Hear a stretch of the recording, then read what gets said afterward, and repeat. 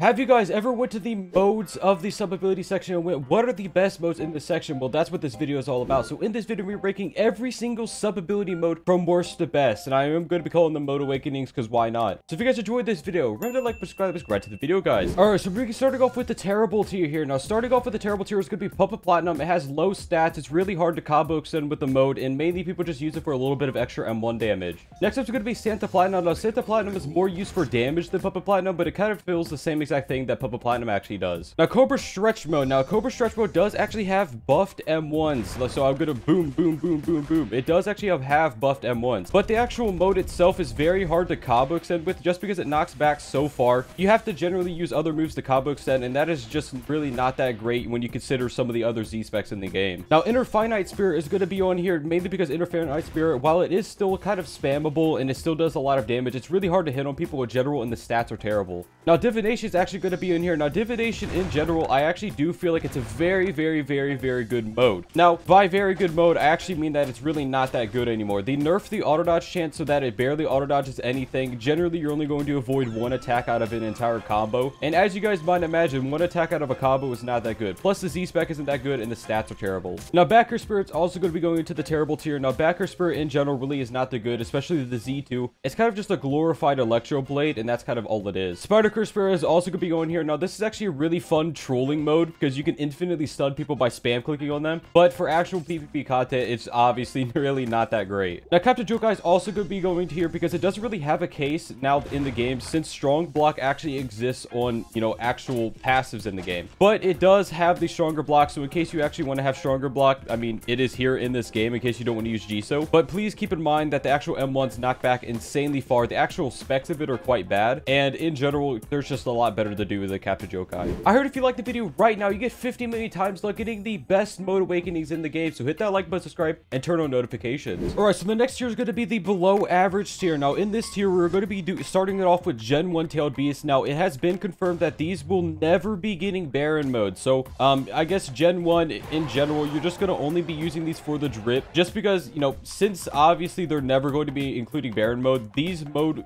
these modes will obviously always be better worse than the Gen 2 modes. And by worse, I mean like genuinely significantly worse. Because the Baron mode is kind of the only reason why the other ones are actually worth using in general. Now, next is going to be Vapor Inner Spirit. Now, I was actually considering putting this into the average tier or not, but the reason why it's going to be below average because the stats are terrible. This is what I like to call a dueling mode. There's not many of them in the game, but this is actually one of them just because the stats are so low. But the actual ability of Vapor Inner Spirit is amazing. It's a place lock stun that is instantaneous. It, it's like, imagine a Bankai stun, but it's instant. It's, it's, it's a really, really good ability in general. But the issue is that the since the stats are so low, it would actually make you do significantly less damage when you're actually stacking it with other modes, which you will be doing. Now, up next is going to be the Demon Gate Spirit in the below average tier. Now, this is for honestly a main reason of it's actually a really hard to use mode in general. The actual last two modes of it are also quite bad. People generally, when they use Demon Gate Spirit, they only use probably like four, five, and six, I would say, just because they are they are instant ones, so you can actually combo extend with them quite well if you actually know how to, you know, combo with knockback and all that stuff. It's also worth mentioning that since the last two ones are actually bad, these are the actual ones that have the insanely good stats. So you're not you're gonna have pretty bad stats when using this as well. So I would like to also call it a dueling mode. Now next is gonna be Heavenly Spirit. Now this is one that I, I was actually considering not inclu including it to the average tier as well. This mode is honestly pretty good. Now the only thing that is holding it back is the fact that the actual Z-Spec has a lot of startup attached to it. It's really hard to combo extend with just because it actually, since the, since the amount of startup is so insanely high, generally you're only going to be using the Z2, which is actually the counter. So in general for Heavenly Spirit, if they made the startup a lot less and made it a lot easier to hit people, it would be definitely a lot better. Now I'm next would be Toad Curse Spirit. Now this is what I like to call a novelty mode, like Captain Jokai mode. Wow, look at that. I'm white and green at the same time.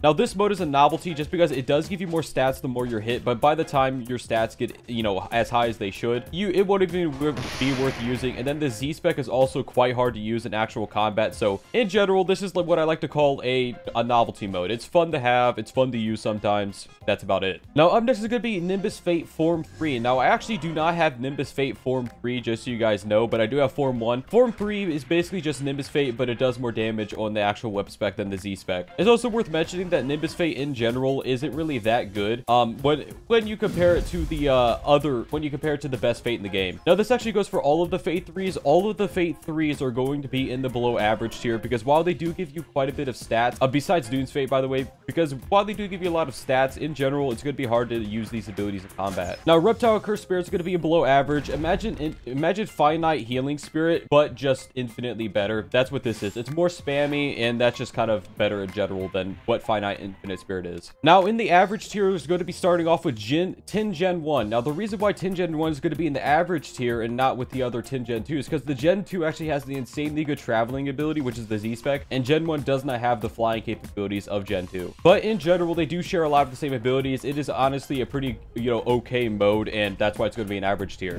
Now, the average tier is going to be the tier where, you know, all of the modes that are just generally okay are going to be.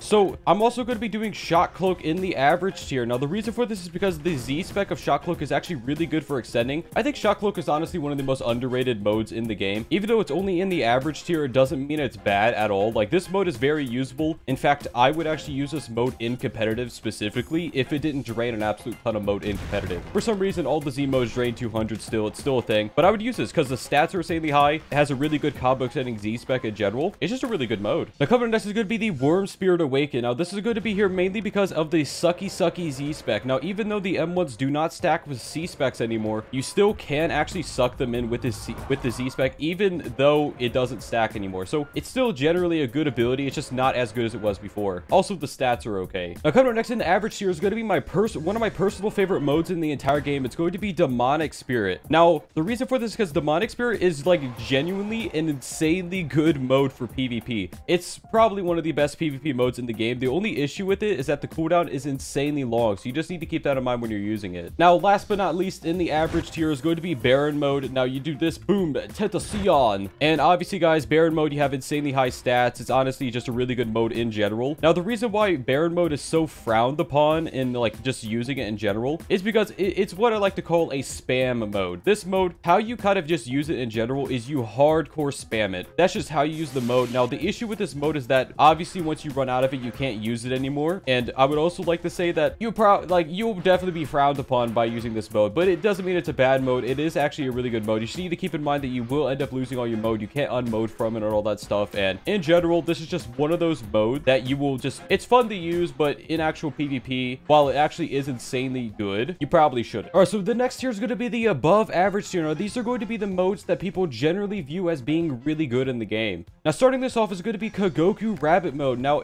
if, if you guys are aware of what Worm Stage used to do, it used to stack. Kagoku Rabbit Mode also stacks. Look at this. 100 damage and M1 combo. Look. Look at the damage. 100 damage and M1 combo. I'd also like to say that the Z-spec of Kagoku Rabbit Mode is also insanely good. And I'm pretty sure it does also have a weapon spec. Like Kagoku Rabbit Mode, the fact it stacks is absolutely insane. And it actually does have a really good Z-spec as well. The fact that it stacks actually makes Kagoku Rabbit Spirit worth using. And it also has a very special interaction with Kagoku that makes the M1s do more damage in general.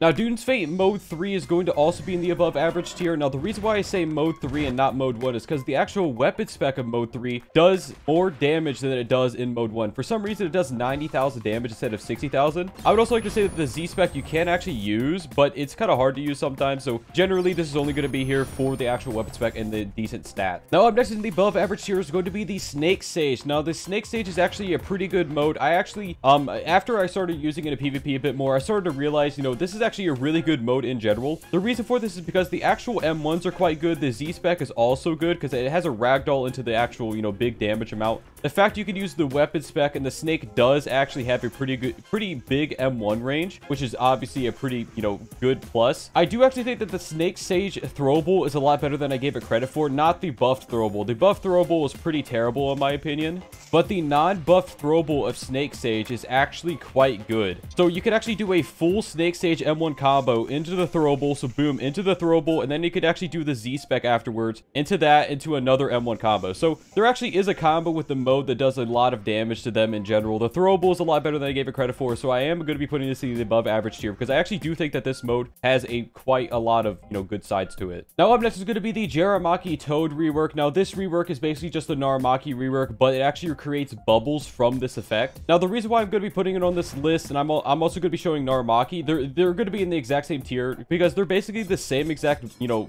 mode. But the Naramaki mode is actually better. It's actually better to combo extend with in general. It has better M1s than, you know, the, I feel I feel like the Z-spec of Jeromaki is significantly worse because the fact it creates bubbles is definitely worse than being able to combo extend. I would also like to say that the throwable isn't really as good as I thought it was. I think they reduced the, they increased the amount of time it takes to hit the full bar of the actual throwable. So it's definitely a lot worse than I thought it was. So I do actually think that while this mode is above average, Snake Sage is definitely better. Now, last but not least, in the above average tier is going to be Tin Tails Gen 2. Now, I do not actually have the second mode. You have to kill the boss to get the second mode. Now, the reason why I'm, why I'm going to be putting this here is because it's actually a really, really good bloodline. I actually do think the mode 1 is better for PvP and mode 2 is better for PvE content because mode 1 obviously has the combo extenders in general. Dude, Tin Tails, I feel like people are, you know, hardcore, you know, downing this for no reason. The the, the Z1 mode in, in the PvP aspect of it is absolutely insane.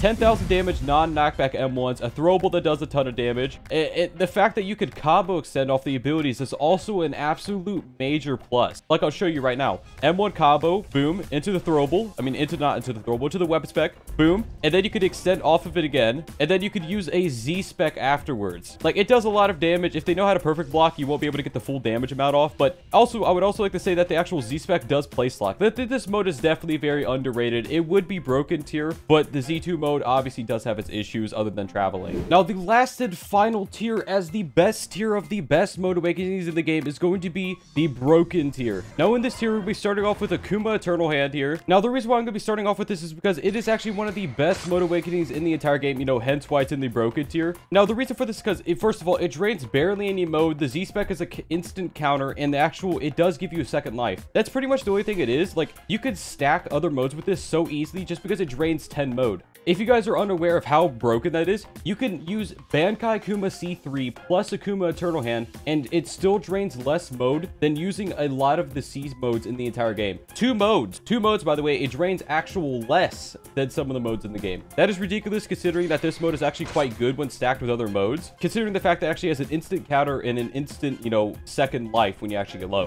Now, up next is going to be the Jinchiki God Awaken mode. Now, this is actually one of the most forgotten modes in the entire game. This mode is genuinely an insanely good mode. First of all, the M1s are, you know, really good in general. Uh, I would actually like to say that the main reason why it's going to be in the broken tier is going to be for the Z-Spec. Now, if the Z-Spec is basically an auto dodge, that, that's like the easiest way of explaining. It's like an auto, instant auto dodge ability. So imagine Akuma Eternal Hand, but instead of a counter, it's an auto dodge. Also, this actually has a really good throwable that does a lot of damage to people and gets you out of combat. So when you go up in the air, use the throwable, it's actually a lot harder to hit you in general. Plus, the weapon spec is basically just an instantaneous high damage ability that actually is a... It, it's an instant stun. That's the best way of explaining it. Now, when you hit the full mode of the actual Z-Spec, it actually will give you this super big damage ability in general. But the fact that you have to climb up to it does make it a little bit worse than it would be otherwise. Just because the actual easiest way to use the Z-Spec is to hit it on someone and immediately use the weapon spec to stun them so they actually get hit by it. So he, uh, he up, he's charging up my Z-Spec here. Nice. So now that my Z-Spec is charged up, I'm going to go ahead and use the Z-Spec when the cooldown's off. All right, so here's a good example of how to use the Z-Spec. You could use any stun to the Z-Spec. I'm actually just going to do an M1 combo. So I'm going to M1 combo Z-Spec. And yeah, it does have a lot of delay, which is generally why you have to stun.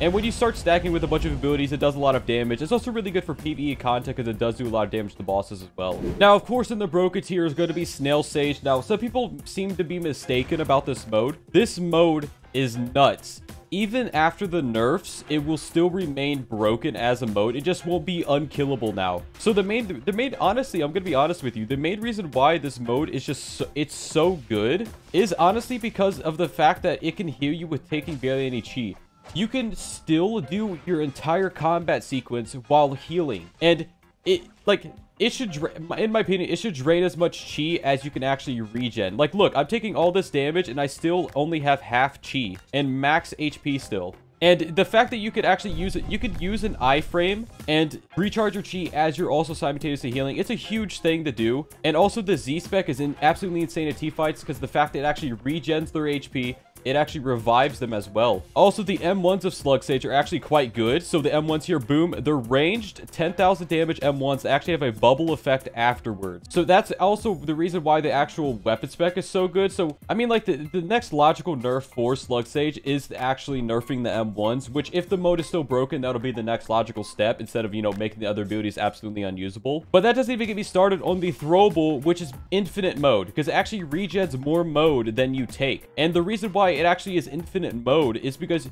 the fact that the cooldown is so low means that if you're using it every single moment that it's up, you're actually regenning more mode than you're losing. It's a 12 second cooldown, by the way. It also gives you chi and HP back. So I'm going to show you guys the actual Z spec, the fully charged Z spec here. So the fully charged Z spec, it's going to be hard to show you guys, but I'm going to head and I'm going to use it on me. So boom, it, gives you a bunch of HP back. It gives you, it regens all of your squad. It's on, honestly, Slug Sage is just a really good team fighting mode, and it's honestly too good right now. It's so good to the point where it's actually good for 1v1s and not just team fights. By the way, guys, what is your favorite mode awakening in the game? For free tip comments below, we'll be checking them out. Now, last but not least, in the broken tier is going to be Maru slash Apal Spirit. Now, these are obviously absolutely insanely good modes. I do actually have the final one. Saboku will pop it up on the screen for you guys. These modes have absolutely insane damage abilities. Now, the reason why I people generally use the final mode is because it's a it's actually really hard to hit you when you're holding block. If you're holding block in the actual final mode it is absolutely insanely hard to hit you in general I would also like to mention that the actual abilities of these are, you know, the actual abilities of the final mode are also really hard, to, you know, really, really hard to avoid in general because they actually are just massive damage AoE abilities. Now, in general, when people use those, like I said, they use it for the M1s and the ability to avoid M1s, and actually the Z-Spec is also quite good. Anyways, guys, if you guys enjoyed this video, remember to like, subscribe, posting those guys. Bye-bye.